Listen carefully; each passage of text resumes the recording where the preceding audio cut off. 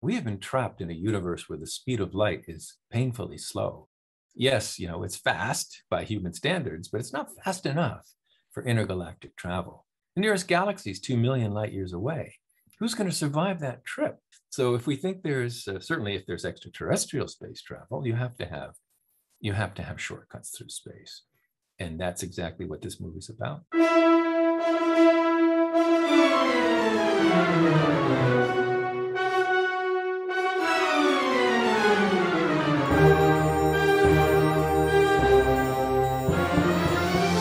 Welcome to another episode of the Filmosophers Movie Talk Show. I'm Chris Bush. And I'm Dean Slider. On the Filmosophers, we talk about film and philosophy with the people who make and who love the movies.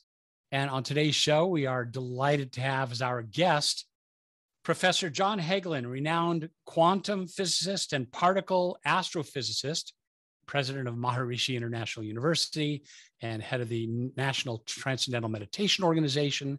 Uh, John, in addition to being an esteemed scientist, is also a, an expert in consciousness and its development and a film buff in his own right. So we've invited John to join us on this show, which is dedicated to films on space travel. And this is a science fact or science fiction episode. And John will help us debunk, validate, or debunk the science in three great space travel movies of the last 10 years, which include 2013's Gravity with George Clooney and Sandra Bullock, 2014's Interstellar, directed by Christopher Nolan with Matthew McConaughey and Anne Hathaway, and 2015's The Martian, Ridley Scott's film with Matt Damon. So, John, are you ready to put your science hat on and well, it's fun to be with you. Just don't talk too fast for me. I'm a hexoseptogenarian. I can only think so fast.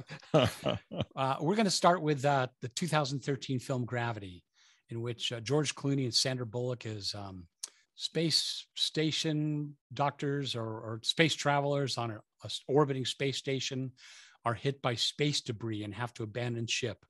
Um, tell us a little bit just about the kind of your your appreciation of the film from a scientific uh, point of view.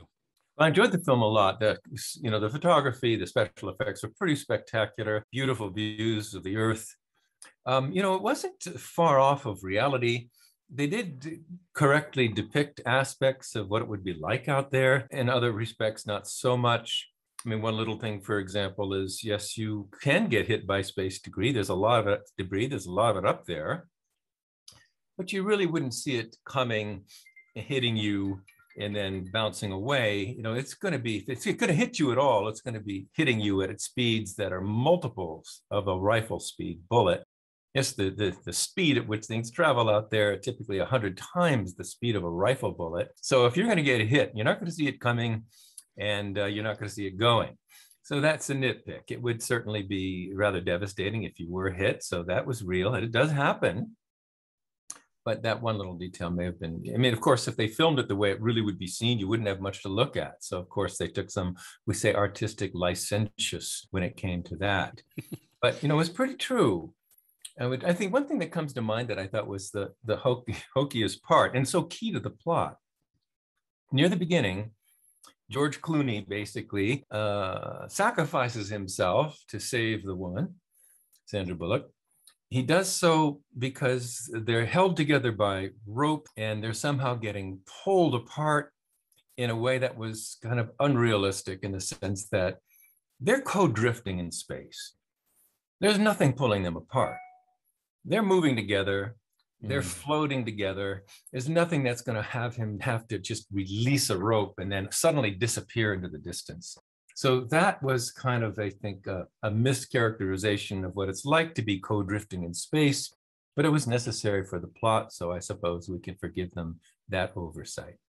And there are a few others i think if i scratch my memory but um, I, I i think that that particular moment interesting for for me uh, uh, recalled, and that's as you point out, John. You know, near the beginning of Gravity, at the end of Titanic, that's you know Leonardo DiCaprio and Kate Winslet floating on that little piece of debris, and and Leo realizing that it can't hold the both of them and sacrificing himself. Yeah.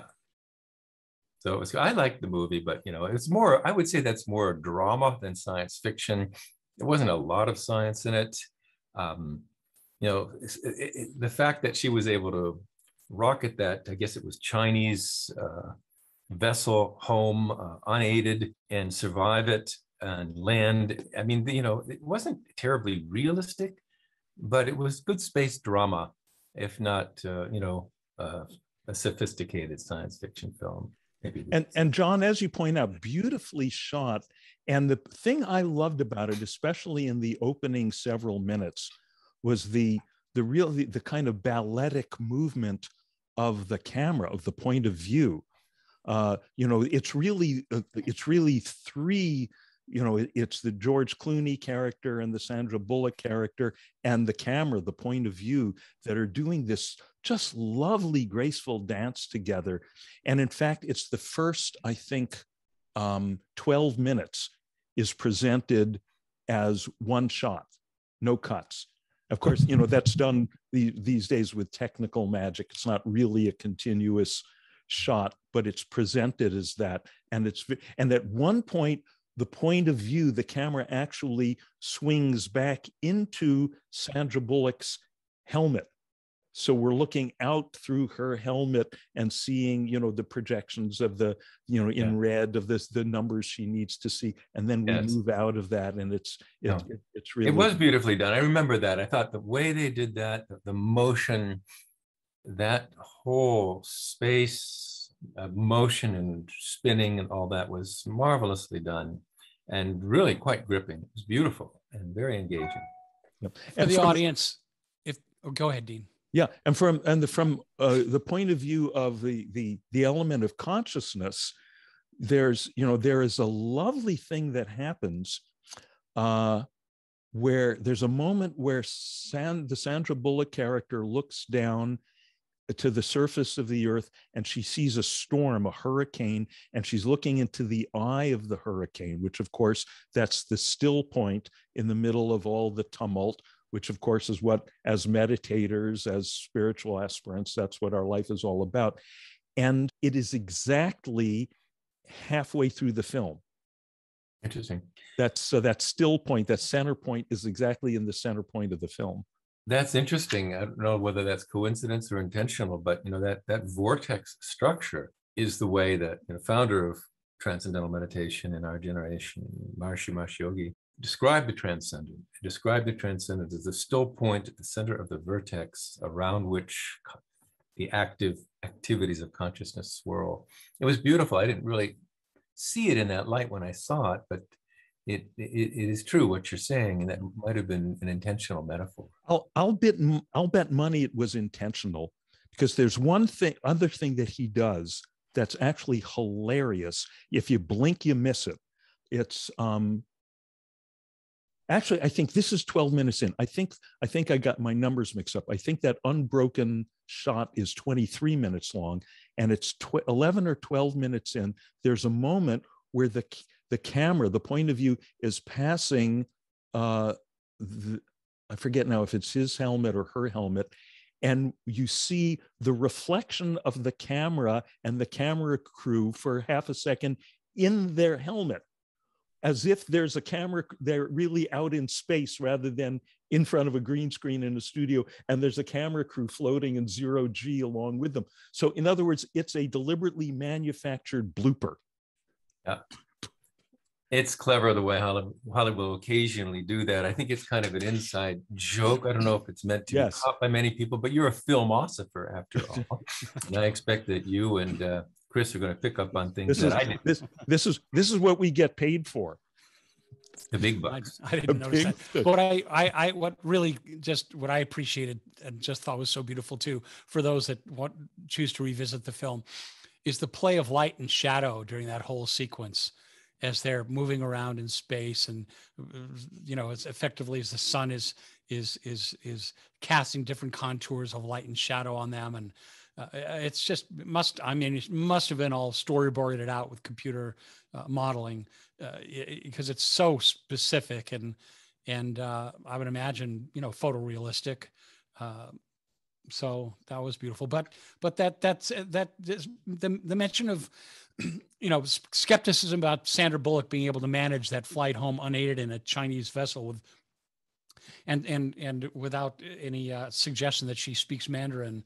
Um, I guess I guess we can forgive it because Sandra Bullock, after all, did survive a a um, a, a, a, bus trip with Keanu Reeves and strapped to a bomb. So she could do that. My she God. Can, oh yeah, she can. She can do anything. One was other... she in that film? Sorry, where the bus suddenly sprung into the air and leapt over a giant gap. Yeah, let's talk about the physics of Speed. that of that scene. Maybe we shouldn't. Maybe Speed. we will yeah. just get me mad. okay. What one other point about the physics of of the film Gravity. Um, uh, which is, you know, space films very often they'll take the artistic license of representing, uh, having the the people f- floating in space hearing sounds. And of course, there is okay. no transmission of sound in space because there's no atmosphere for sound waves to travel through. What if you pay close attention?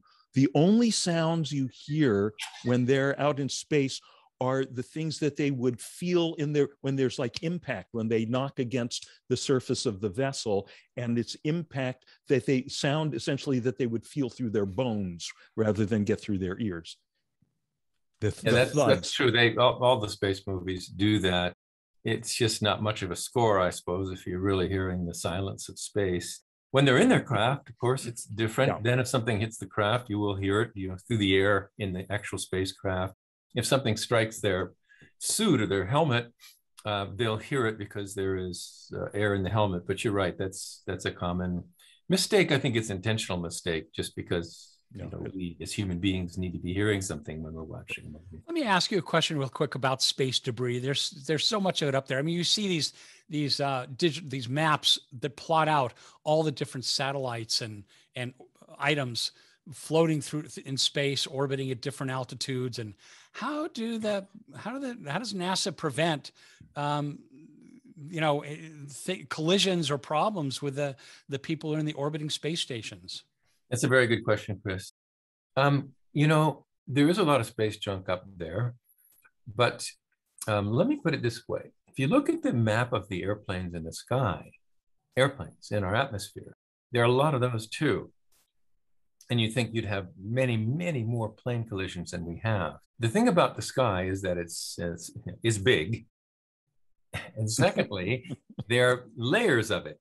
So if all of those planes were on the highway and were on the on the surface of the Earth, you probably would have multiple collisions. But the fact that they are separated by 500 feet all the way up to 1,000, 10,000, 20,000 feet, 30,000, 40,000 feet, you've got 80 different layers of airplanes, and they're carefully sticking to their layers and therefore not often colliding with each other.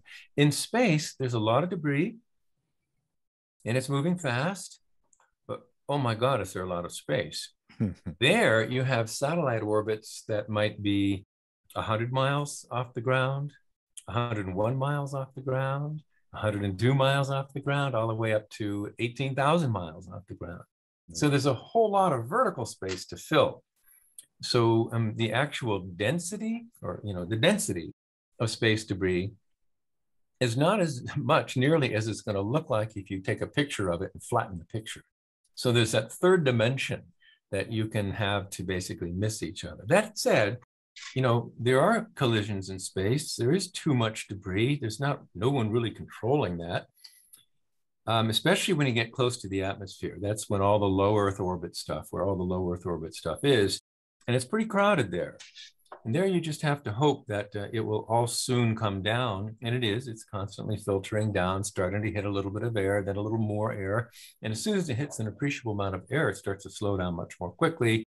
And then it crashes to the ground, sometimes with a streak of light, but the number of debris, the debris that actually hit the earth are very small. Unless it's a very big piece, it'll burn up on the way down. So there's a natural purifying or cleansing mechanism going on in the low Earth orbit stuff. And if you're going to the higher Earth orbit stuff, then you have got a lot more vertical space to spread out all the space junk. So that's why collisions are more frequent than they are, but they do happen. I remember years ago when Skylab was making its descent in the Earth's atmosphere, and I think people were sleeping under their beds. that was a fun moment. Yeah. yeah. yeah. Don't look up. Yeah. All right, we're going to move along to the 2015 Ridley Scott film, The Martian.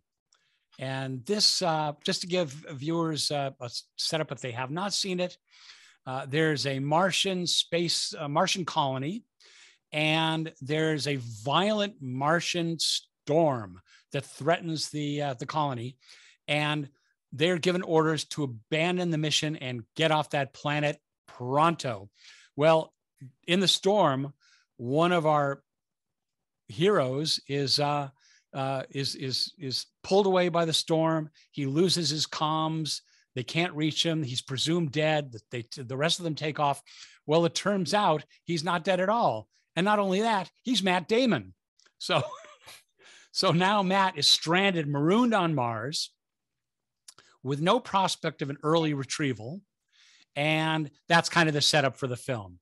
So, uh, and it was beautifully made, I thought. And I don't know how scientific realist, scientifically realistic it was. And we're going to find out now as our esteemed physicist John Hagelin separates fact from bogosity. Okay, the coefficient of bogosity in this particular film is low.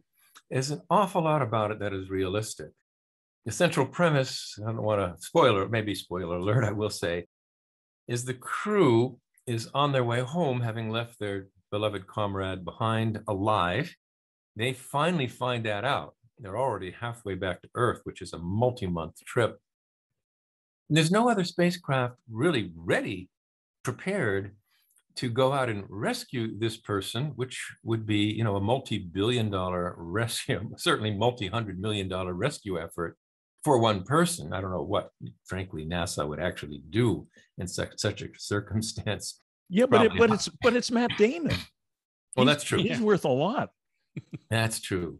Somehow or other, it gets out that the guy is alive, and NASA wasn't sure whether to announce that to the public because it would create such a firestorm. What do we do? And how do we leave him behind? And what are we going to do to save him? And but you know, it, it got out and um, they had to do something. And they decided they were going to attempt a rescue.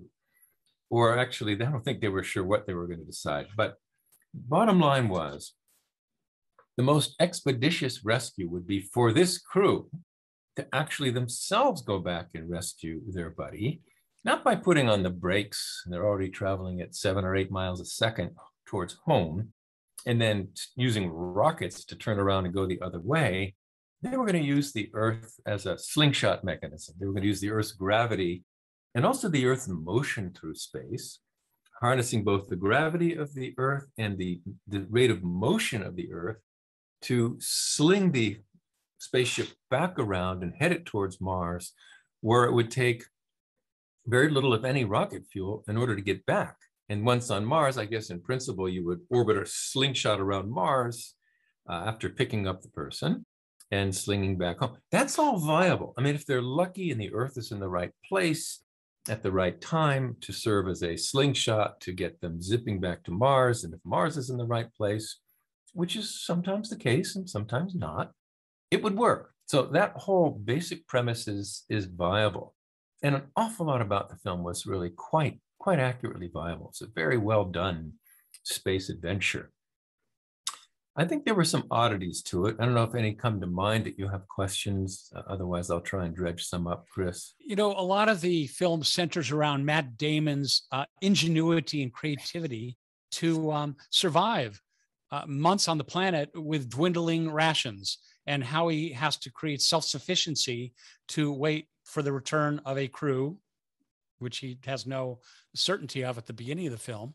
And that includes um, uh, planting eyes of potatoes in, in Martian soil and cultivating them, fertilizing them, and generating a water source. And and and nurturing them with his own poo. Yeah, that's the nourishment source. I'm glad, Dean, you did uh, remind me of that uh, yeah. aspect of the film. So, is that is that scientifically viable? Well, you know, I had to actually check into some aspects of that myself. You know, the atmosphere on Mars is very, very rarefied. It only has, I think, a half a percent, maybe a percent of the density of air here on Earth. And of course, a human being can't breathe, breathe or live in an atmosphere that is 1% of the density of the air on Earth, there wouldn't be enough oxygen for us to live on. And in fact, the atmosphere of Mars doesn't have any oxygen to begin with to speak of. It's mostly carbon dioxide. And so, of course, we all know you can't live on Mars if you're a human being without oxygen. I was wondering whether you could grow potatoes on Mars with, because of the lack of air. And it turns out, from that perspective at least, you could, because although there's very little air on planet Mars, most of it is carbon dioxide. And that's, of course, what plants breathe. And they basically burn carbon dioxide, if you wish, plus sunlight. And they turn that into carbohydrates, which they store, and they breathe out oxygen, which humans could breathe if we were there to breathe it. So that standpoint of being able to grow plants on the surface of Mars, I think is sound. Um, you have to deal with the very low temperatures. Uh, at least most of the year on Mars, and certainly most of the planet's surface on Mars is well below freezing, and that's a problem as far as plants are concerned. So if I'm not mistaken, Matt Damon creates an indoor uh, garden uh, in a bubble. And in that bubble, he keeps it warm. And in the bubble, he also creates uh, water through burning some of the leftover, some of the extra rocket fuel. And yes, when rocket fuel burns, carbon dioxide is one of the byproducts of that, usually.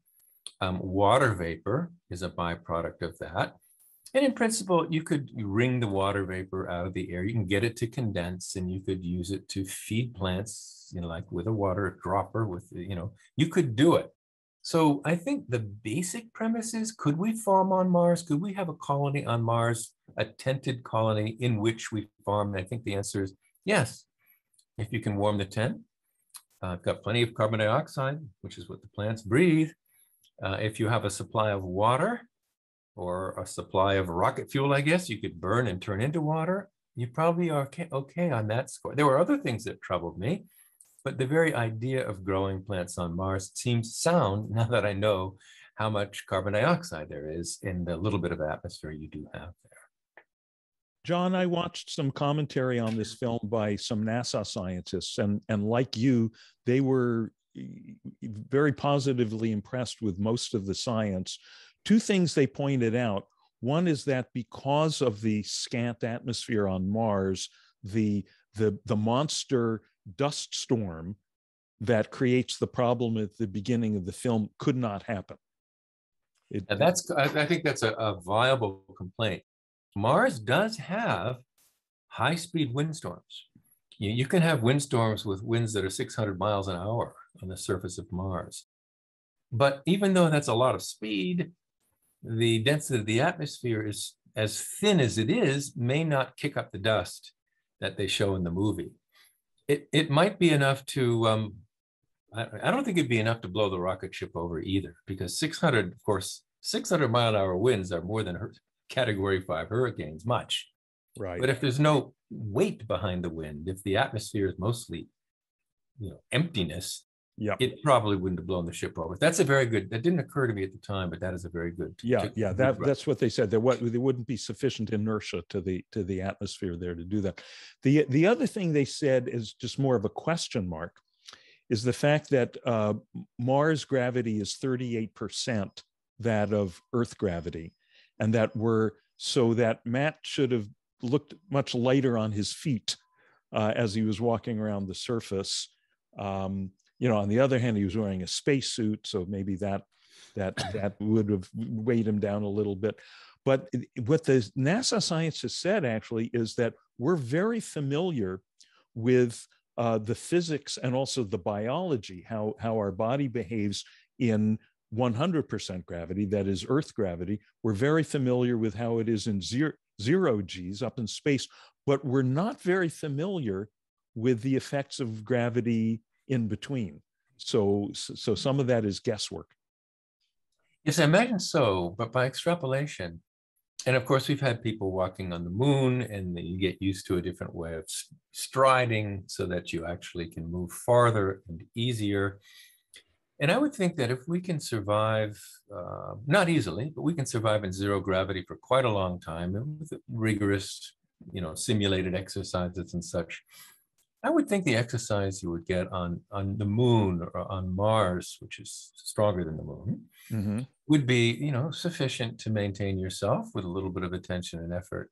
Yeah. So that's an interesting thought. It doesn't concern yeah. me so much. There's something strange that did happen in the movie, um, and that is when the tent that housed the garden basically blew open due to some slightly not well explained mechanism. What it just burst. The pressurized garden burst. And in that pressurized garden, if I'm not mistaken, my memory might fail me. Um, Matt Damon was in there farming, and I don't think he had his suit on when he was in that all the time. I'd have to double check that. He was actually in his suit outside of the of the living facility, I think, when that when that catastrophic event took place.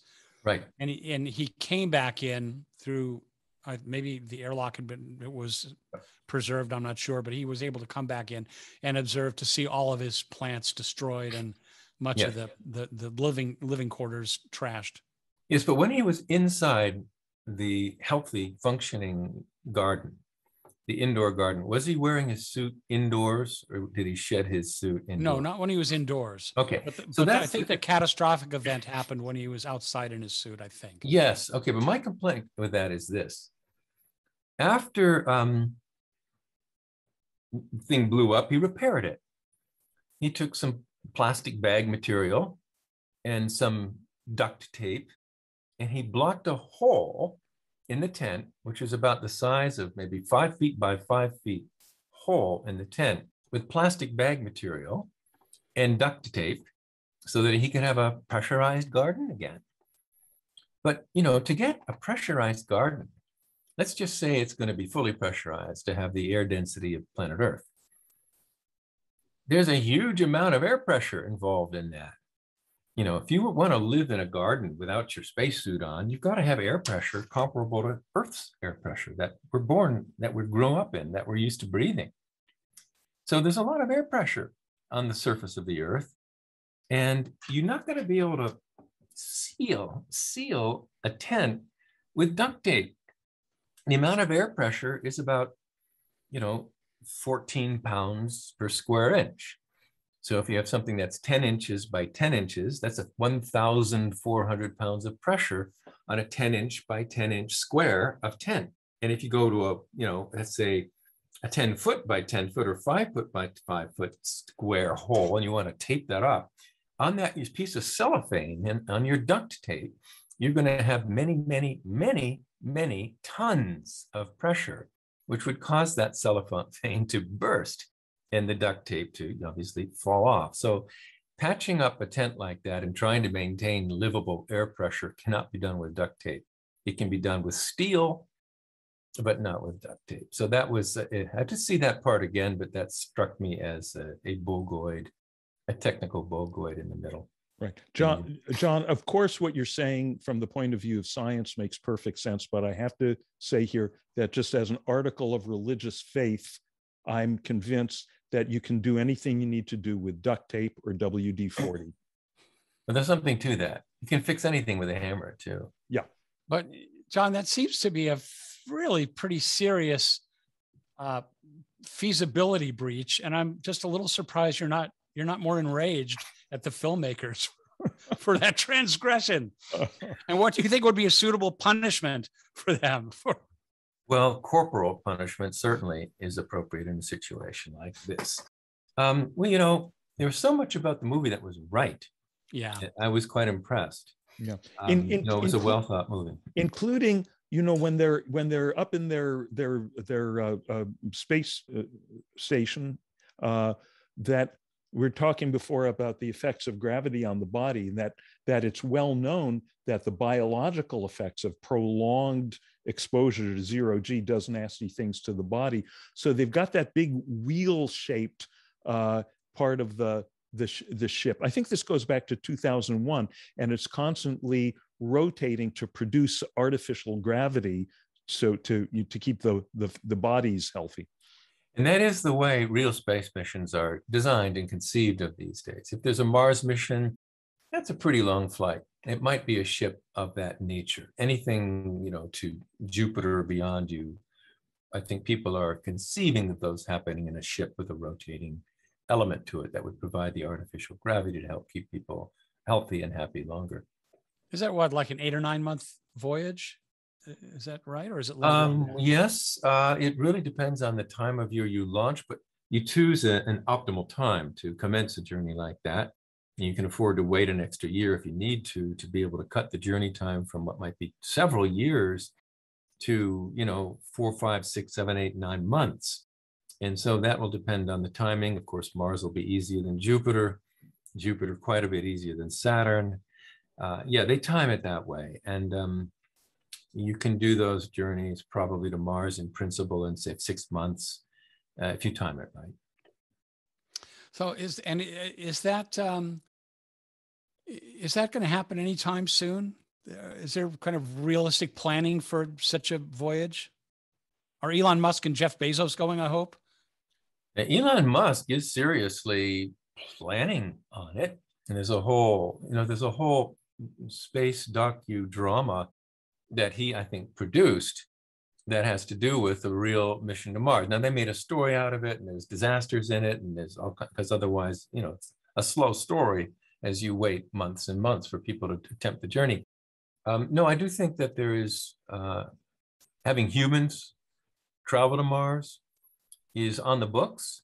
I don't think there's a scheduled date for it. I think there's a lot more planning that has to be done, but it's the next major frontier in terms of human space travel. We might go to the moon again just because you know we've done it and we know we can do it again, and just to keep the get the juices flowing again and make sure we have we're back on our game. Mars is the next you know significant destination for humans, and um, I don't know. I think they're talking about a 30 year time frame. Yeah, we'll see, of course. So let's move on to our third film uh, under discussion. And this is the uh, 2014 film by uh, visionary director Christopher Nolan called Interstellar, starring Matthew McConaughey and Anne Hathaway. And this is more speculative science. Uh, it just quickly, for context, it revolves around the story of an Air Force pilot um, Matt McCon- Matthew McConaughey. He's also a farmer during an apocalyptic uh, climate crisis and human life is in peril.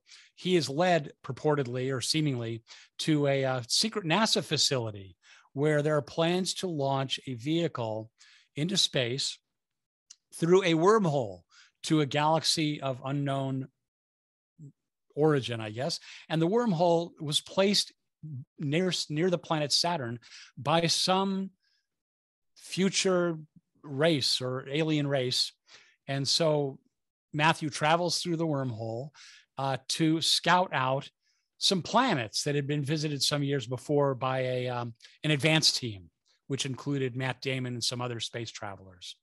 And uh, then he he he returns, but it's it's it's a very kind of fantastical uh, method of returning in it. And and one of the concepts I want to just have you kind of discuss was uh, he uses the force of gravity as a, as a kind of language in which to communicate with the past. Is as if because gravity can transcend space and time, the language of gravity is used to communicate with the past. There are fantastical elements, including the wormhole. John, take it away and tell us a little bit your thoughts on Interstellar. Well, Interstellar is the most profound of the movies in, in terms of its ambition, uh, its scientific fiction ambition. And, and it is a very profound and relevant subject to explore, and that is not just space travel, but time travel. I'll talk a little bit more about that. That one of the things that that pleased me most about the movie is that Matthew McConaughey kept his shirt on. This may be the only movie I've ever seen him. He didn't take his shirt off and I frankly have had you know more than enough of that. so thank God for small favors. So basically, yes, the plot is that human civilization appears doomed, and the scientists in the know and the planetary scientists and the you know weather experts knew that the days on Earth were numbered, that Earth was becoming a barren planet, unable to support agriculture. Um, so that was the problem. And the plot, basically, if I can just boil it down, is that uh, how, how do I explain it? Is that the in future times, the human race sends back a messenger back in time to basically save the planet Earth from destruction. So the Earth was headed for destruction. Somehow it evades destruction. And the, the way it evades destruction is by basically sending back somebody from the future to basically tell the earth how to avoid the disaster. And that seems like a strange logic, because if it was headed for destruction and couldn't be saved except for some visitor from the future of Earth, someone from who, who survived and long into the distant future comes back to save the Earth, well, the civilization has already been wiped out. So how could somebody come back from the future to save the planet Earth? But that's the wrong way to think about it. From that perspective, it all seems like nonsense. But think of it this way. Let's say the Earth somehow survives by the skin of its teeth and and uh, but requiring some advice and some help help on how to survive and that help comes from the future from someone who had survived? Is it possible? And the, the answer, you know, you might puzzle over it, and physicists have puzzled over that question for a long time.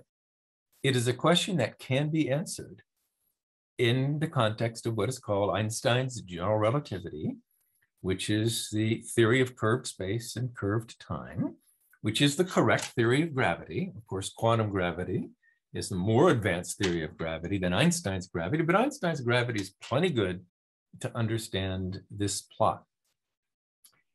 In, in it's a recent discovery, and these are difficult theoretical calculations, it has recently been confirmed that there are valid histories that are perfectly plausible in physics where a human being could indeed come back in time and talk to himself, uh, for example.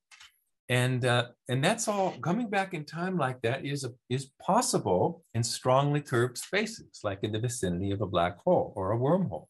That's sort of what's called closed time loop is a valid solution to the physical equations of motion. It's a, it is a valid, plausible thing that can happen. Now, it all has to be logically consistent. You know, if you're going to send somebody back in time, or let's say, if you're going to go back in time and meet your father, and then you convince your father not to get married so that you're not born, you end up with kind of a problem. Because once you go back to the past time, you know, there you are, and there's your father, and your father never gets married, and therefore you're never born. That would be a logical, inconsistent example of what I'm talking about. But there are logically consistent examples of these time loops where you go back and you tell your father to get married. Uh, and John, so he gets married. John, I actually have a, an example. A, I actually am an example of a, a, this is a true story of what you're talking about.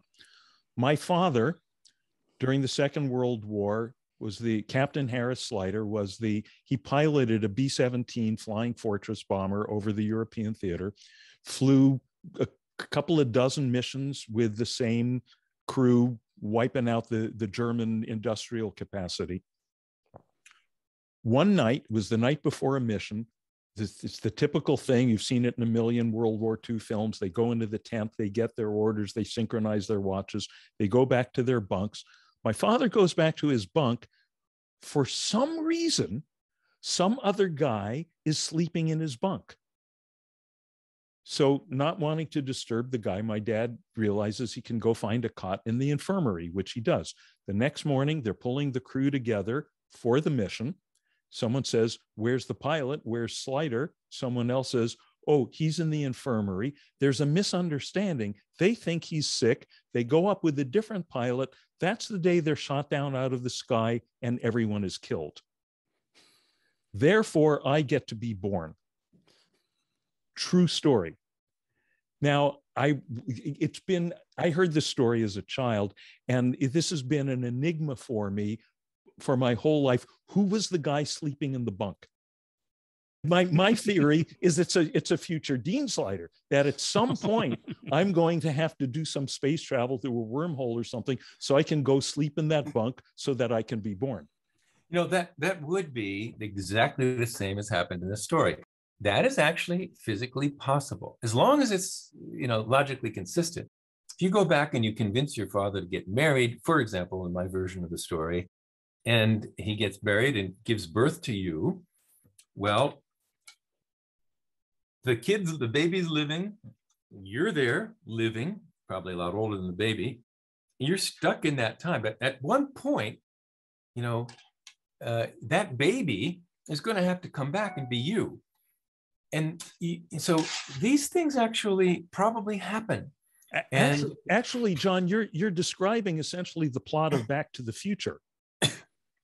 Perhaps. I don't remember that film so well. Yeah where um uh, uh what's his name? You know the character michael marty, j fox. Michael j. Fox marty mcfly mm-hmm. goes goes to to the past where his future parents are in high school and he realizes that because his father his father is such a nerd he's never going to get up the courage to to get together with his future wife. And so so so michael j. Fox basically has to play matchmaker so that he can be born.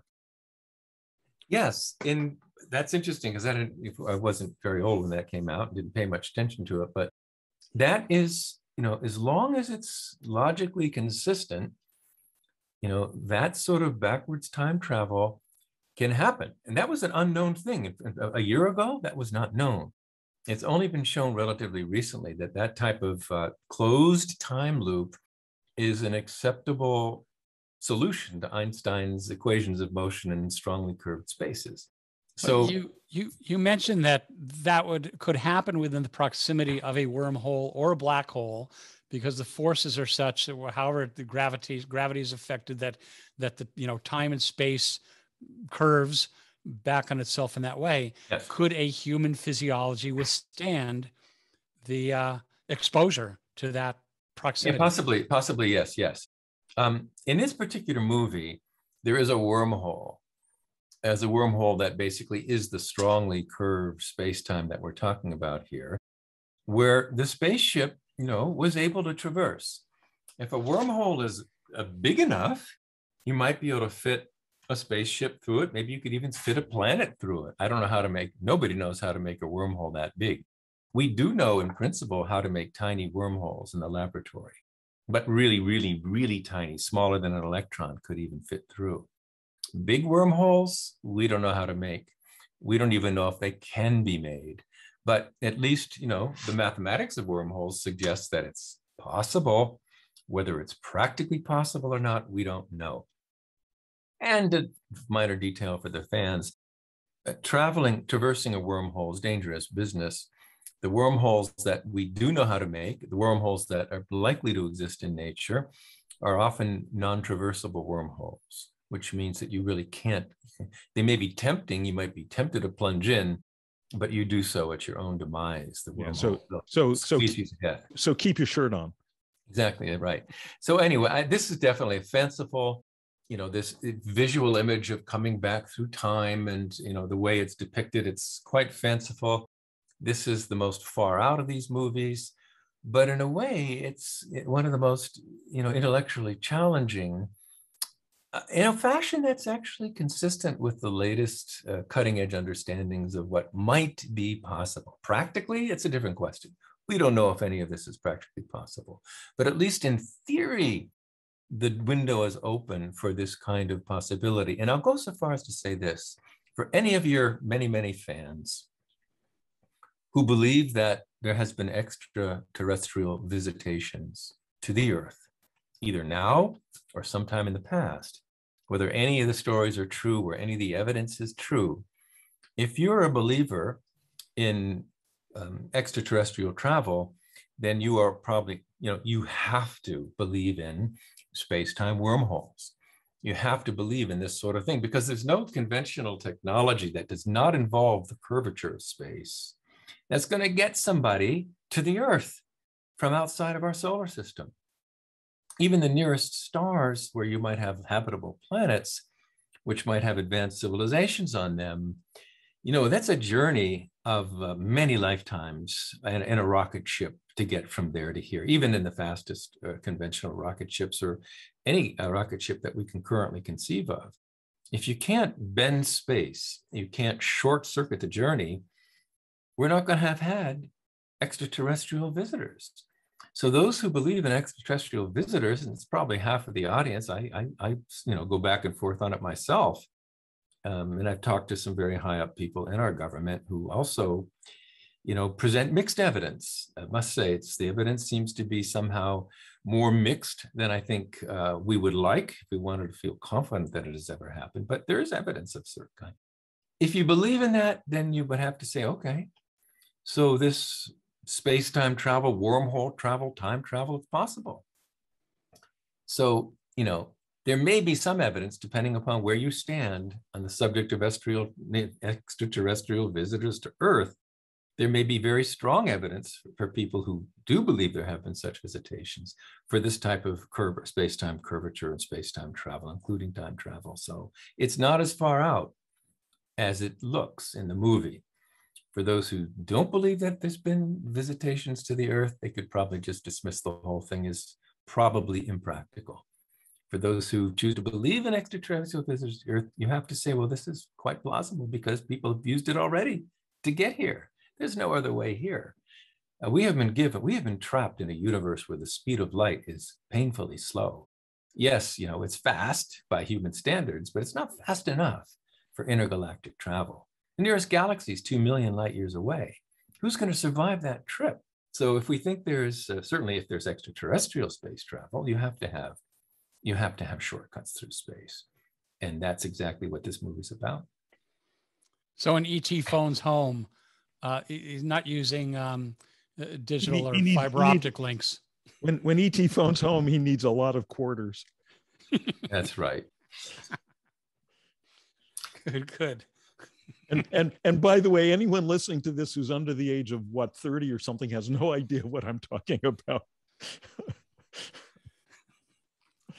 yes, yes. Uh, it's fun listening to you guys. You guys really know a whole lot about film. And uh, I should I'm inspired to watch more. Good. Well, yeah, you watch watch Back to the Future. Actually, it's a lovely film. Uh, it's beautiful, it's funny on a humanistic level. It, it's lovely. I'm going to take this opportunity very briefly to to uh, vent my usual rage at um, Christopher Nolan that that because I think every film that he made after Memento on on the, the conceptual level, the scientific, the technical grandiosity is is as you said hugely ambitious, but uh, his his understanding of of how human emotions work and how humans talk to each other uh, is um, he, he needs uh, he and James Cameron are the two directors I feel because they're masters of technology, they think they can write scripts and they they can't. Um, uh, the, the, the, you know, the, the last, you know, there's whole like huge chunks of interstellar that to me sound like uh, college freshmen who've been taking astrophysics 101 they're back in the dorm. They've been hitting the bong and they've been saying oh yeah so then if we only in this case their survival depends on one of them um, improbably coming up with the right answer. Can i vent too on something now? I'm going to date myself. I'm going to prove that i'm a hexoseptuagenarian here. But there was a television show when i was growing up called lost in space which for a dumb kid was kind of a fun show well, they made a movie probably 25 or 30 years ago about Lost in Space. And they spent a whole lot of money on some, you know, pretty significant special effects for the time. The dialogue in that movie was so excruciatingly bad, even for an illiterate physicist like myself. I absolutely couldn't stand. It. You know, there's so many movies that they just paid, you know, a college student 150 bucks could have come up with a script, a dialogue, so much better than what you'll see in this, you know, hundred million dollar film. You wonder sometimes why investors will invest in a high tech, expensive movie without bothering to hire a scriptwriter who could actually make the thing tolerable. Yeah. I was delighted to see Christopher Nolan's last film. I can't even remember its title, but Tenet. I was what was it? Tenet. Tenet. Yeah. yeah, I was delighted to see it tank because it was so grandiose and so stupid. So, Dean, I will take a contrarian point of view that I think Christopher Nolan, you know, initially being quite a technical wizard, like like mm-hmm. Cameron, he's he's the he's a puzzle master, and his movies um, uh, approach films it, eh, it kind of as intricate puzzles. And I I appreciated films like Inception and The Prestige for that reason. And some of them I like, some of them I don't like. But I would add to that list, uh, actually, one who takes precedence over Christopher Nolan and um, James Cameron for me is George Lucas, who, although he created the wonderful, wonderful um, mythical world of, of Star Wars, when he made his his uh, second three f- of the films, the Phantom Menace. Jar Jar Binks. Yeah, with Jar Jar Binks and, the, and the, those others. He didn't go to the trouble of getting a, a, a script writer, of getting any collaboration, yep. and the, it was it was just George Lucas, and it was so bad. It, it was just they, they were so bad. I uh, again the guy. Unfortunately, it was. I mean, the storylines I still loved in those, but you really had to block your ears when there was any dialogue going on. But was it not ten? Who did the film a couple of years ago? about extraterrestrial visiting Earth in these like big fat blobby ships that just sat there and hovered above the ground. Oh, that was Arrival. That was Denis Villeneuve who just did Dune. Oh yes, that was oh, yeah. Arrival. That was Arrival with that Amy was... Adams and Jeremy Renner, and I love that movie. Did you see it, Dean? Was... Yeah. Arrival? Um, no, I did not. Oh, oh, it's fantastic. She is a linguist and she's called in to try to decipher alien language. Mm. And hmm. it's really thought provoking. I thought that was marvelous. That was my one of my favorite sci-fi movies of recent times. I'm glad you mentioned that, John. John, we'll have to have you come back to talk about Dune and Arrival and other films, and and really maybe films that that uh, where we have the intersection of, of of science fiction and science and consciousness would be fun to talk about. I'd love that as long as I get top billing. you you got it. Anyway, pleasure to be with you, gentlemen. Really appreciate the uh, joy. Uh, really quite fun to be with you today. And I love my homework assignment, which is to watch more science fiction movies. I'll get on that right away. John, thanks for joining us. A real pleasure to have you on. My pleasure. Thank you for joining us on the Filmosophers Movie Talk Show. Please subscribe to stay up to date on our newest episodes.